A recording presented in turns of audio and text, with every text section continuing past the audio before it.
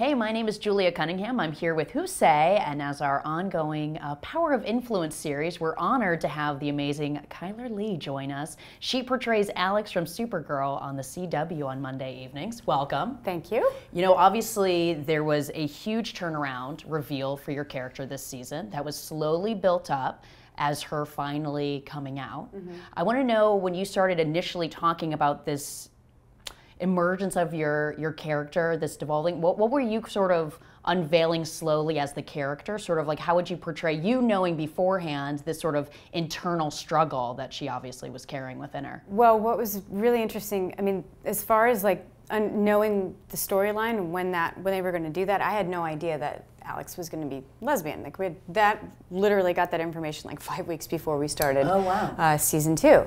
So that was like that was an interesting introduction was like, by the way, she's gay. Um, and I'm like, okay, all right, cool, okay, yeah. And um, it's uh, it's been a heck of a journey, but I think the the biggest thing for me is it was so uncomfortable for me personally to play Alex in any kind of romantic situation. So being vulnerable like that, like you, you we'd only seen a few examples of that. Well, a lot of examples of that with Kara sure. um, in season one. Yeah. And so there was that side to her that was sort of opposing the the you know that badass kind of like always having stone face like just taking names you know what i mean right kind of thing and then so having it brought up in season two it just wasn't even on my radar initially and so actually then having to be in romantic situations it was awkward and i felt awkward in it so i think it translated pretty well actually um, but luckily, I mean, with Floriana, she's just an amazing person, and so we really had to kind of navigate it together. Because for her character, I mean, she was already even in the comic book. You know, she right. was already gay. She's she openly was, that was known. Oh, yeah, yeah. And then for my character, it was just I'm not in any of the comics. Right. So I'm an you original can do whatever character. You want. We could do whatever we wanted, yeah. we can, you know, really kind of push those limits. Um, but she's she was a great person to be on the journey with because she's just as invested in, in telling a good story, and that was the most important thing, you know, to me.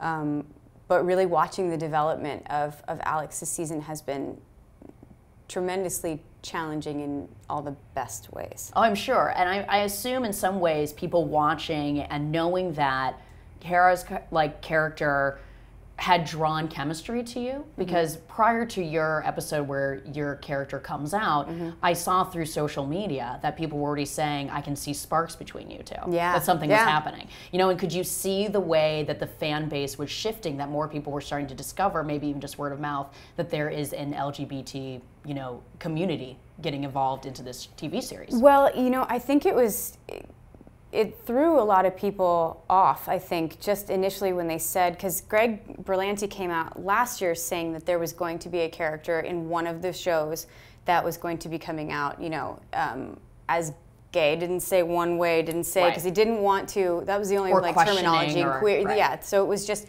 there wasn't anything specific that was put out um, other than it could be on this show or it could be on that show. And people immediately was like, it's going to be Alex and like and i was like wow why do you why how, how did you come up with that? And they're just like well we haven't seen her in any kind of situations. And then you know it kind of people figured it out pretty quickly.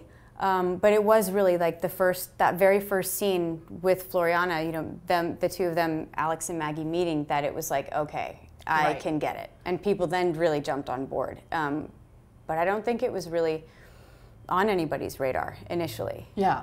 Well, even I think there's something so interesting about the way to see like a real relationship unfold, especially mm-hmm. for someone new in a relationship, but also someone who holds resentments from their childhood. As she says, mm-hmm. she was, you know, heartbroken on Valentine's Day yeah. growing up, you know, and those sort of things. And, you know, just in the terms of social media, do you find that there's more stories that are outlets for people that you've sort of been pulled into and just hearing about people's stories and also realizing how do you now become that that influencer because now you are, whether you want to or not, pulled into that community. Yes, that's very, very well right? said. It's, in question yeah. form, yes. Yes. but um, it, it's been overwhelmingly positive in so many ways. I mean, I, I've had many, like thousands, and I mean genuinely like thousands of, of responses and people telling me their story and i mean like some really deep dark Right. stuff and i'm i'm a i'm a mom by nature i am just have a heart for people and, and have a heart for um, well really just humanity in general but once i'm hearing all this and i and i knew initially like greg berlanti said to me he's like just understand this is going to be a really big It's deal. gonna You're going to get a lot of doorway, right. notoriety, which for me is like, is, it's not about that. For me, it's like I do want to know that if I'm spending time away from my family and I'm going to be working on something, it's got to be 100% worth it. And like for me to be able to step into this and tell a story that is having such a huge impact on millions of people, like that brings such a deep satisfaction, you know, and especially in an area that is so misrepresented and so undermined in so many different ways. And there aren't a lot of storylines of this depth, of this kind of magnitude Right. on TV right now. And if they are, as the whole, is it the Clexa, is that what they called it? Yeah. The whole, yeah, the, everybody's being killed off. Right. And so we were very much like, I'm not dying. I'm not going anywhere. It's okay. Like, she's going to live. Lesbian lives. We'll just say that that's the new hashtag. Hashtag Les- lesbian lives. Yeah. Hashtag lesbian lives. and between your social media and you're, you're just shy of a million between both combined. You're getting close. Um, Ooh, that's a good way to say Do you find one is easier to respond to people because obviously you have the limitations of Twitter, Instagram Mm-hmm. you can go a little bit further because I'm sure you're getting obviously positive, but I was also scrolling through and seeing negative, you know, and seeing on message boards and seeing Mm-hmm. Whatever else, like Yeah. whether or not it's a, a quote unquote appropriate for Mm-hmm. the CW, which is quote unquote family based, although it's Yeah. television for everyone. Yeah. Do you find that it's, do you have a rule for yourself? Like, how do you engage with people with this conversation? it's a delicate balance. It really is because I want to make sure that what I'm saying is encouraging. I want to make sure that I'm building people up, but I do get such raw, like open, honest comments that I'm kind of like, okay, I got to figure out uh, how to navigate, you know, how I should address it, if it should be addressed right away. But I'm trying to get to as many people as I possibly can because I want people to understand that you're heard and that you're important, you're valued.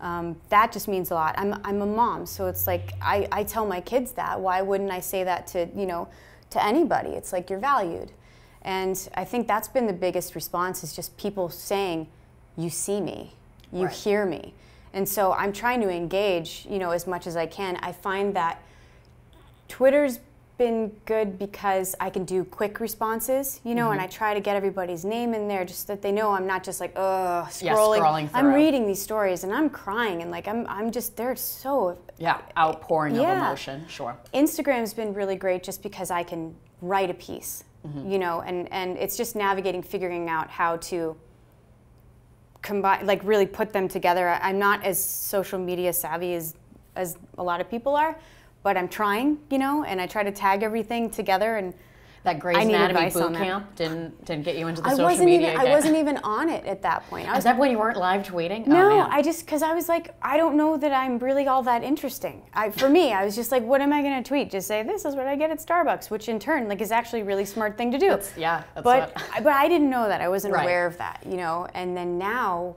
knowing It's a whole new game when the CW is involved, and like the Yeah. whole Arrowverse in general. Yeah, absolutely. But I, I really genuinely believe if you're put in a position of influence, it is a disservice not only to others, but a disservice to yourself to not use it in a way that's going to be positive and to build people up. In, in a world that's so negative right now, and in an industry that can be so negative, Right.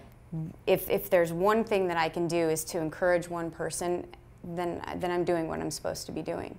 And uh, you and your husband have spoken about being very faith-based and Mm-hmm. have your own charity and you know do a lot of work for good. But I imagine there are a lot of people also from the Christian community, although I know you're from a non-denominational church, Mm-hmm. Yeah. that they probably don't love that you're a representative of this. Have you had to deal with that? Yes, I have. And and it's been an interesting journey because it made me question a lot of things myself. And you know, growing up, I didn't grow up in church, but I it was kind of like this fast sort of growing thing for my husband and I and I say this delicately, but there's a lot of things that I just don't agree with. And so explaining it to my some of my friends and even family members and them saying, "Well, how can you, you know, and being genuine, not like Right. being, you know, judgmental, but just like how can you do that, you know, do a storyline like this, be portrayed like this, have a physical, intimate relationship with another woman. And it's like, because I'm a human being right. and I'm not perfect and I'm flawed and you're flawed. And how can I sit here, things that I've done in my own past and in my own life that I might not, you know, I could be ashamed about or I could be, you know, I can't sit here and judge somebody. If you want to take it from a scriptural place, it's like you can't sit here and, and point out the flaws in somebody else without doing it to yourself. Sure. And it's so not a spiritual aspect. I don't think like this is just a matter of we're talking about humanity, we're talking about people discovering who they are, and whatever that faith is for yourself. As long as you know you're staying true to who you are, I'm telling a story. Is what it is. I'm a storyteller, and I, I can't follow a lot of things that people say it's interesting. I'm trying to find a good way to navigate this this this part, but when I found out about the storyline was very shortly after the Orlando shooting, and for me, I had such a hard time even thinking from a Christian standpoint. You could say, well, if someone's homosexual, then you know that's it's evil. It's you know that's that's a hell-based thing, and I'm just sitting here going, how could you possibly say that everybody that was involved and everybody that was in that club was gonna right. go to. I, I just yeah, I can't, can understand. I can't understand that. Yeah. And so it's been an interesting thing. I have had family and friends say like, well, we're just not comfortable having our kids watch the show anymore. I'm like, that's that's, that's I gotta respect that that's right? you. That's your parent. You do your own thing.